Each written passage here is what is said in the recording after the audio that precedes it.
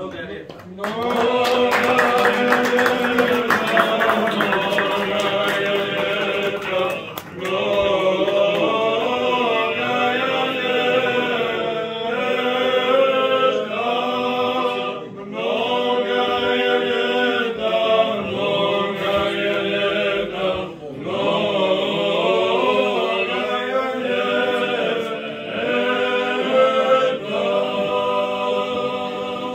Dopuna. Aco je naš predsjednik crkvenog odbora i naš prijatelj. i On je na nesretna vrijeme rata dolazi ovdje na bogosluženja. Kao dijete bio ovdje čuvao ovaj dvor i crk uvijek dolazi na bogosluženja.